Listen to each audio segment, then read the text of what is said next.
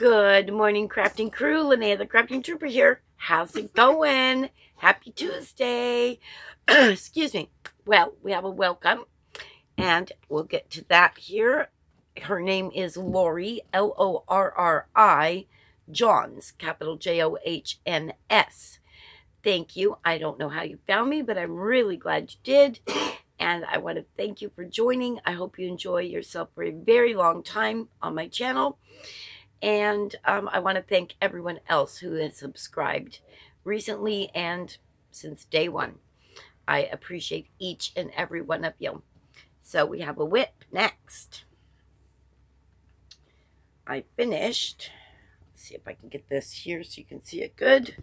I finished my Bloom and Grow month number three. It's on the left of your screen there in the red and green flower pot, which I think it is my favorite flower pot thus far in the stitch along. I am loving this Bloom and Grow stitch along. It is just so fabulous. So, um, I did receive notification that I made the grade for the test knit with Talia. It is a cowl. It's color work.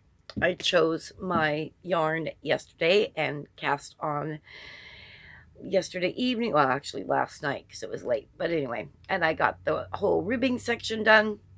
And now I'm on the body part. So once I get a little bit more of that done to where there's uh, something to show you that looks like a pattern, I will be including that in my WIPs. So I'm excited about that. And let's see. I did the happy mail yesterday. Was it yesterday? Yes, it was yesterday. Um, I think that's it for today, you guys. I think so. It's short and sweet. So, I will remind you to be kind and thank you all for being here. I appreciate each and every one of you so much. Love you. See you later. Bye-bye. Mwah.